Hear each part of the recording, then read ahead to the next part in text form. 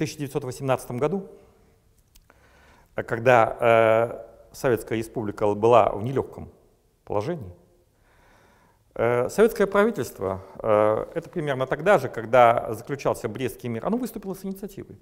Давайте проведем референдум, и пусть люди решат, в каком государстве и как они хотят жить. Это очень значимо. Это и есть истинная демократия. Э, так вот, э, Донецк и Луганск, на мой взгляд, как и Крым, они однозначно сказали следующее, что они хотят быть независимыми. И президент России Владимир Путин сказал, что мы должны с уважением отнестись к этому выбору. Выбор сделан. На мой взгляд, речь не идет о каких-то имперских амбициях.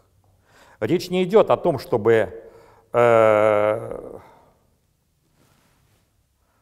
увеличивать территорию, э, экономический потенциал.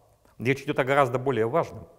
Речь идет о человечности. Сейчас происходит гуманитарная катастрофа. Сейчас уничтожена э, станция, которая перекачивала воду, нет электричества, нет воды. Люди в отчаянном положении. За что этих людей наказывают? За то, что они сделали свой выбор? За то, что они проголосовали? На мой взгляд, сейчас речь не идет о каких-то имперских амбициях, а речь идет о том, чтобы предотвратить гуманитарную катастрофу и просто защитить этих людей, помочь им. Понимаете?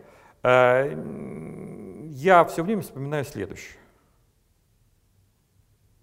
Это сказал один из э, мыслителей, прошедших немецкие лагеря концентрационные.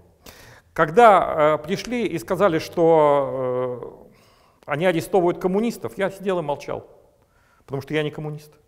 Потом они пришли и сказали, что арестовывают профсоюзных деятелей. Я опять сидел и молчал, потому что я не профсоюзный деятель.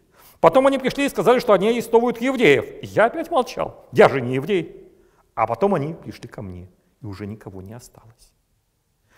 И вот э, мне кажется, что очень важно, чтобы помощь пришла вовремя, чтобы мы просто поняли ту самую простую мудрость. Не спрашивай, по ком звонит колокол. Он звонит по тебе.